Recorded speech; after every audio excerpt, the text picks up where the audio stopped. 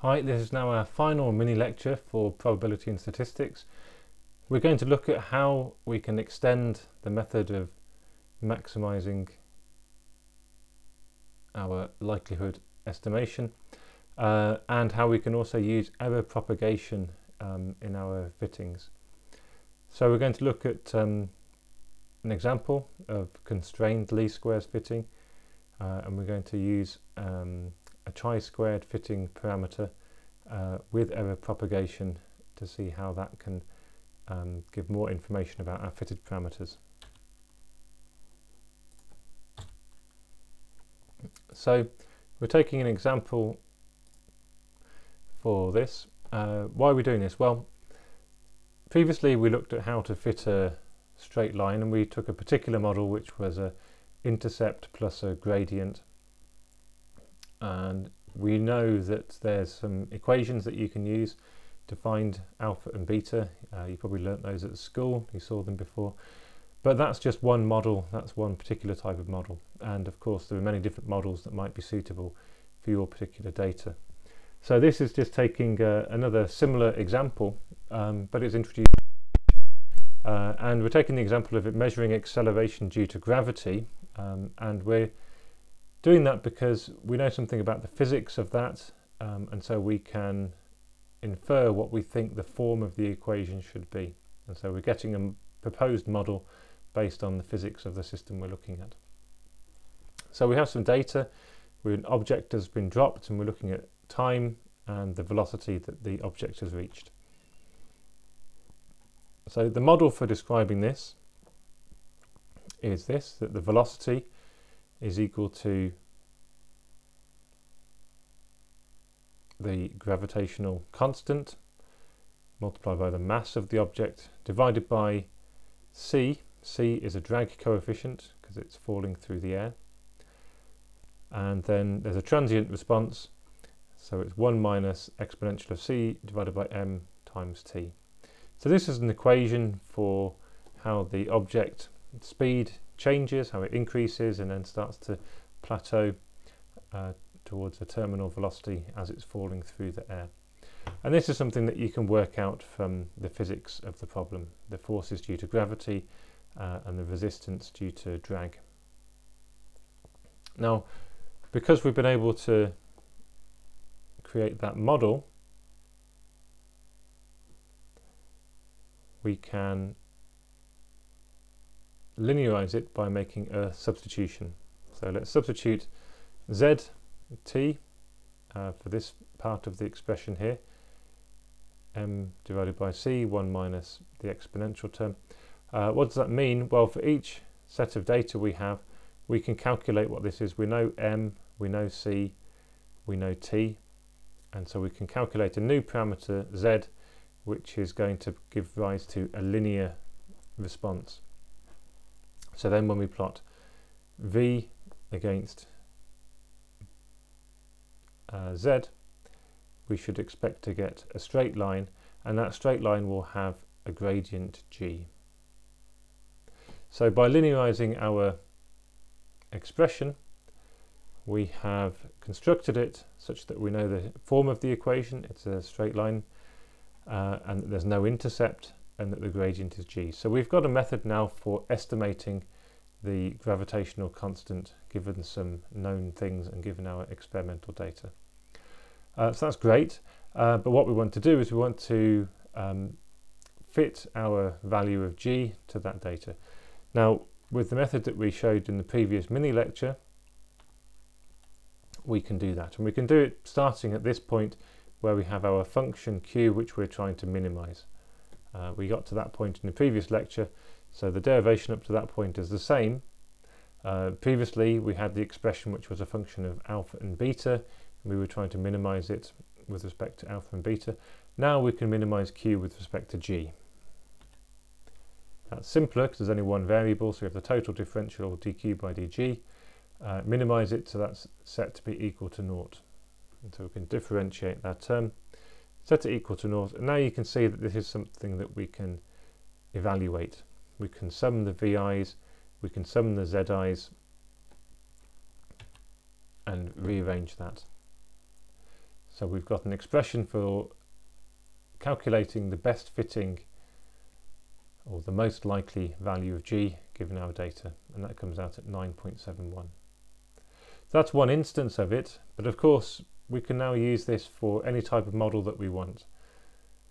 Um, we call it least squares fitting and you can see why least squares fitting has generic application because we're always going to get a function of this form and so we're minimizing the sum of the errors squared.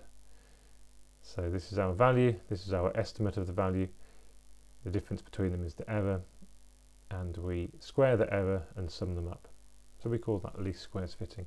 And that's why we can use least squares fitting very generically. Uh, it doesn't just have to be a linear model, you can create whatever sort of model you want and you still expect the least squares fitting method uh, to give rise to the best values of uh, coefficients in your model. So there's one more trick that we're going to do. Uh, again, we're starting at a point where we're defining our fitting parameter. This is called a chi-squared parameter and you'll notice it's the same as what we had before but the one difference is we've now allowed the uncertainty of each data point sigma i to be different. Before sigma was a constant, now we've got a different uncertainty for each data point. Uh, that doesn't change anything else about the derivation. Uh, maximizing the um, probability um, is still the equivalent of minimizing this expression here. This enables us to take instances where we have individual values of uh, confidence for each data point yi. Um, it could be the case that sigma i is the same for all the data and that it is a constant, but it still wouldn't change this uh, analysis that we have here. And um, the solution for what the best fitting alpha and beta is, is uh, the same equations we had last time, except now we've modified our summation equations such that they've got the 1 over sigma i squared term in each of them. But other than that, it's the same.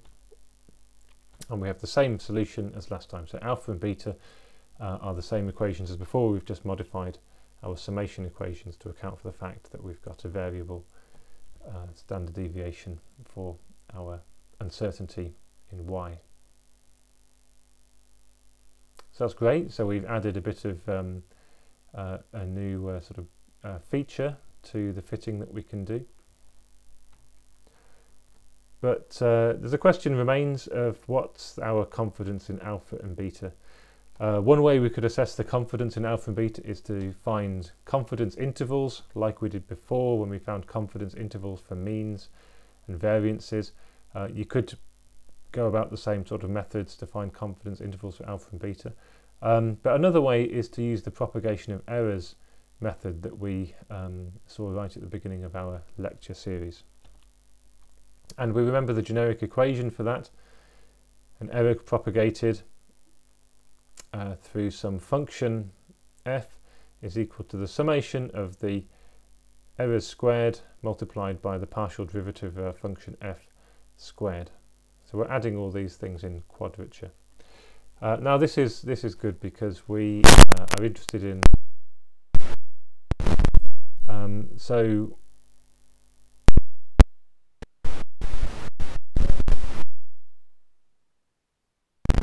are those errors going to